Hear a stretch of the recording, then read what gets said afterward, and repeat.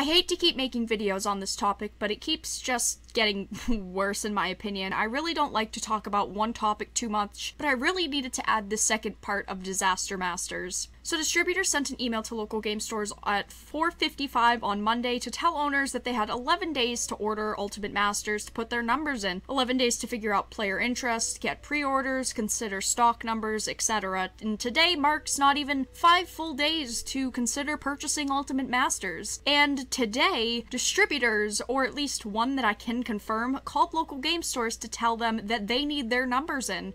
They cut it from 11 days down to 4. They were supposed to have until next freaking Friday. 11 days was an awfully short time to ask local game stores to figure out their numbers without knowing interest with the set and everything surrounding the set, but changing it to 4 days? What the heck? So I don't know if it's distributors specifically or Wizards of the Coast that is forcing stores to get their numbers in today, but what I'm assuming, and I have no confirmation besides my guessing, and my guessing usually isn't all that bad in these situations, is that Wizards of the Coast called distributors and said, you need your numbers in today. We don't care if you know stores numbers. So distributors were scrambling to get ideas of numbers in their heads, and when distributors sent out the emails to local game stores last week, they didn't specify allotment either, which was interesting interesting to a lot of people, which also points me towards the fact that it could just be Wizards of the Coast asking distributors for numbers, like I said, because Wizards doesn't care if stores buy it. Wizards cares if they can push out product to a distributor. They don't care if it sits on their shelves in the warehouse as long as it's not their responsibility to get rid of. And if a situation like this was to happen where you couldn't get your allotment or a situation happened from your distributor, there was an ordering problems with numbers or deadlines, back in the day,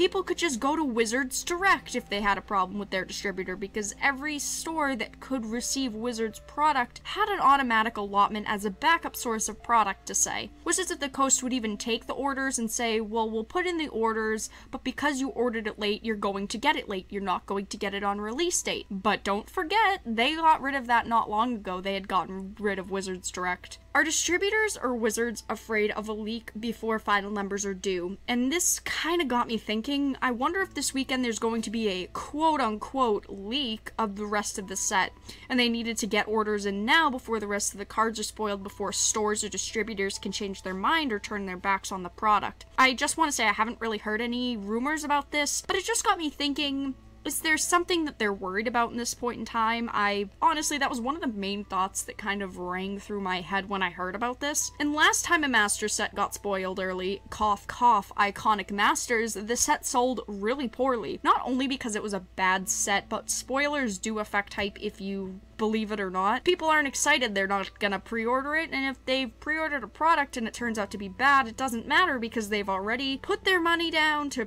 pre-order, so they can't change their mind. All I'm saying is that it's not okay to keep messing with local game store owners like this, especially for a higher priced premium product during the holiday season that 11 days turned out to be 4 days notice. See, when you say all of the circumstances together, you realize how bad it just sounds. But that's all I've got for you guys on this topic. I'm really hoping at this point it will fizzle down and we can just move on with the channel and put this Masters disaster behind us. I'd like to just be talking about the spoilers for this product. I want to talk about the cards for the game itself, not the awful business practice behind the card game that we all love. I want to see a list of more awesome reprints. I want to see that this set is going to be good, but who knows if we'll get that at this point. I hope that you guys enjoyed, and I'll talk to you all again really soon. Hey there, thank you so much for sticking around until the end of the video. You should click that subscribe button and there are plenty of ways to show support to the channel such as following me on Twitter, joining the Dark Titans Discord server, or even chipping in on Patreon and becoming a Dark Titan yourself. I'll see you all in the next video.